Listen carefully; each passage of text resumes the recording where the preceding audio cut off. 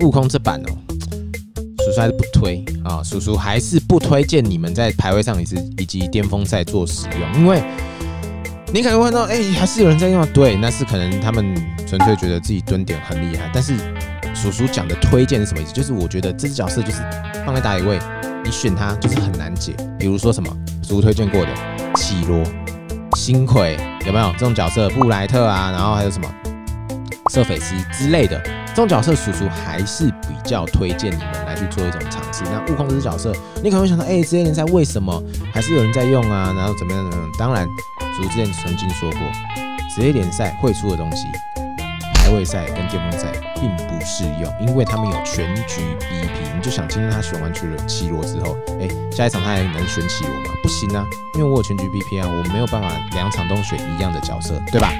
所以呢，悟空这种角色就会出现，但是他选出的原因，来再爆你们一个料，完蛋了，今天讲太多了，还是我们今天节目到此为止，本期影片就到这里为止，我们下一见，拜拜。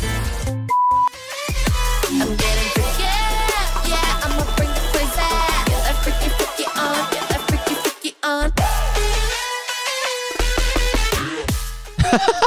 好我们等一下再跟你们讲这个战术运用。我先看，嗯嗯嗯，这个蓝他一个人出人，打野跟射手在上面，他死了。我这里直接一技能普攻，而且再一个普攻，直接带走他的人头。那我们回到刚刚那个话题，为什么职业联赛会选择有时候会考虑出这只角色？其实就是很简单，你就想今天我是一只刺客，我是来刺谁的？刺青还有米奇还是新科？我今天是来杀敌方后排，对吧？我对于后排的威力、震慑力非常非常之大，我给他的压力很大。我今天是一只悟空，你就想今天对方是一只隐形的蝙蝠侠，压力大不大？一样。悟空也是同样的角色。那你今天在过半的时候，什么叫过半？来，专有名词学起来。有时候你们看比赛的时候会听到这个、这个、这个专有名。过半就是你把小地图打开，从河道那里直接横着切一条线，一半是你的，一半是什么？敌人的。对，今天你在大后期的时候，一定会出现过，因为你要攻人家主堡嘛，一定会出现过半的情况。你敢过来吗？你没有我的视野，你敢过来吗？对，这就是一个问题点，这就是悟空的价值。我可以让你不敢过半。我们这里呢，直接一样，继续普攻，然后二技能普攻，一技能好了之后呢，再普攻一下，结果被晕倒，但是没关系哦，一技能开着，再二一个二技能普攻成功，带走敌方人头。然后记得啦，你的悟空就是带恶魔觉醒，没有其他的我们考量，因为呢，毕竟你敲完敲完一套之后，还可以再敲一套，这个追击能力非常。像我刚刚就是已经敲完一套了，然后再再敲一套，对面那个海洋有三段位移都逃不了，好不好？然后这个这个悟空的这个造型，我真的偷偷推荐一下。叔叔，我先说叔叔没有拿钱，但是叔叔真的觉得悟空这个造型，这个骑 o d o v a 的动作真的超 Q 的哈，一定要去解锁。来，悟空的精华一样，就是先看人，我们打二排，我们不急，我们不急。哎、等一下，我们这里好像可以打一拍哦，有机会了，这里直接隐身出去，普攻大绝普攻二技能普攻，有没有看到？全部人直接阵线被我卡开，不过这个刀锋进场了，我们这里呢躲一下，等一下冷却 CD，然后对我全死攻。好，非常棒，这个没关系，二技能出去，一技能赶快走哈，这个就不要再打了，再打一定死，一定死，因为那个刀锋有大，刚刚他刚刚已经刷新了。玩悟空很简单，就是当个痴汉，你有没有？一直你有没有发现我一直在偷？你来又抓到了，有没有？一技能普攻，大绝普攻，他完全没敌没当，怎么打？对你今天走一个人走在河道里面，嗯、好像有绿叔叔，好像有绿叔叔，你敢走出来吗？不敢。对，就像一个痴汉，悟空就是这种角色。我今天在地图上面完全没有露头，你敢出来吗？这就是它的价值，好不好？那你今天要玩它，当然你就要记得什么？不能随便露头，你不能在地图上面随意的露头给敌方看，这样子你才可以让敌方感受到非常巨大的压力。来，你今天要学，你今天要变成一个痴汉，你必须怎么做？偷偷摸摸。对你今天如果光明正大，那就是什么？啊，跟各位一样变态啊！被我讲叔叔不是哦，叔叔是这个正人君子，对正人君子。我们这里呢好像快死了，但没关系，二技能一技能立刻拉退，然后队友呢再次倒下。哎、对面怎么那么强？嘘，来了，普攻大绝普攻，二技能普攻。哎、这女 play 吧？我每次都蹲那个草，每次都被我蹲到，好爽啊！这我跟你讲，那一个萨迦那个那个蓝已经在同样的地方死多少次了。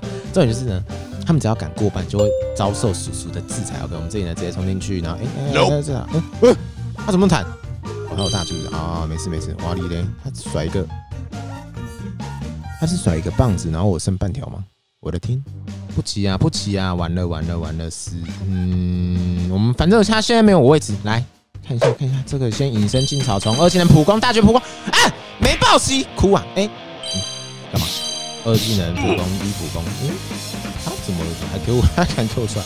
我的 CD 很快哦，利息嘞！我这个有这个什么恶魔觉醒啊？不是恶魔觉醒啊？对了，恶魔觉醒啊！他是讲的恶魔微笑，恶魔觉醒就是这么 OP。我打完一套，立刻开大之后，还有一套 CD 非常非常的短。后期要出破阵还是天虫哦？其其实这主要就是，哎、等一下等一下，我先来杀这个蓝，这个蓝有点太过。我们先二系普攻，大绝普攻，来，我们看到反应不及，他连大绝都没有办法开。OK，我们现在呢往前压一下，先压一下汉雅的位置，你有没有看到？只要我今天给对方后排压力，他就很难进场。你有没有发现？他不敢进场，因为我招式扣着，他只要敢进场，就是直接被我一二或是二二二一这样敲两棒，血直接残。OK，我们现在看一下这个草丛，好像可以蹲它隐身进去。哎、有一只刀但没关系，我这里呢直接敲那一只害牙就好了，它的斜线两棒直接踩。刚刚如果三棒的话，他已经挂了。那回到刚刚的话题，破阵还是天虫？你们要了解，破阵是为了谁出的？切坦克出的啊，不对，天虫是为了谁出的？切坦克出的。破阵是为了谁出的？切敌方软皮后排出的。那你今天悟空要打的是谁？敌方软皮，对吧？我今天要给的是敌方后排软皮的压力。所以呢，我今天如果我会一直切他们的话，那基本上我们不太需要出天虫。但是如果今天敌方后排出了给你出了很多防装，那你可能就要考虑一下出天虫了。OK，叔叔还是比较推荐你们出破阵。就行了，OK，突破阵就行。然后我们现在一样哦，先搜一下这个深渊魔龙克的等等呢，我们就可以录得非常非常之深。你们有没有发现那只汉雅怎么样？过半了，对，它是定了。我追起来，你看我切个步步车，嗯，棒棒，然后再一个二技能，胖，哇，力雷直接敲空气，但是没关系，它直接挂了，就是这么就这么凶。我追击能力超强，你一直后排，你敢给我出去，你试试看，对。很可怕，所以呢，当你今天如果你遇到敌方出悟空的时候，你该怎么办？向上天祈祷他不要暴击，不是哦，这是偏方。你要怎么办？你要找你的中辅，尽量靠在你旁边，你就求他。如果他不来，我跟你讲，你就是说，好好，不要玩了，我们我就送头啊，对啊，这样我就死啊，对。但是我们不，我们今天不必要这样子。那个是欧北软共，刚刚不是苏瑞叔叔讲的，叔叔要你做的是跟队友出去做沟通，拜托他靠在你旁边，不然我真的会死。求求你保住我好吗？但是如果你当你今天队友不这么做的话，没关系，你去找你男朋友，你就直接跟他说，你再给他两口话，宝贝，你站在我旁边，你试试看。他就知道了。OK，没问题，使命必达，了解了吗？又学到了一个。然后本场游戏呢，大概就大概就到这里啦。后面有点乐色时间，就是我就一直敲敲敲，游戏就结束了。最后其实主主要想要跟你们讲的就是悟空这只角色的战术考量一样，我们把它讲得更深一点，因为这场毕竟我们打的现在这种排位的电风赛，并不是呃，并不是什么职业联赛。那职业联赛可以选它的原因，就是因为前面刚刚讲过，我让你敌方射手在大后期的时候有过半的压力。那为什么要有这个压力呢？各位，你们仔细想一下，我今天有过半的压力，代表什么？我没有办法轻易的过半，对吧？我没有办法轻易的探敌方的草丛，这会造成什么一个很大的因素？第一个，在职业联赛里面，你的队友一定要在你旁边，不然我今天大后期射手只要悟空还活着，我没有他的地图点，我死定了。不敢随便的出去，然后重点重点就是这个，我的队友一定要在我旁边。敌方当然也知道这件事情，我可以去做分推，对吧？对吧？那再是什么？你今天不敢过半，哎、你敢跟我出来抢凯撒吗？敢跟我出来抢深渊魔龙克的吗？对，这也是一个考虑的点，对，这也是一个考虑。但是这些点全部都建立在什么？悟空还活着，只要当你今天悟空被抓掉了，这一切的东西瞬间都不见了。我今天是一只大后期射手，我是一只永浩，我今天肥爆，你的悟空对我有有威胁的那一个人死了，游戏结束，我就是把你射烂，我直接跨出去，这个门终于为我开启了，你懂吗？所以今天如果你遇到敌方选悟空，想办法在他没有露头的时候藏起你自己的位置，想办法让他先进场之后，你想办法把他抓掉，只要他一死。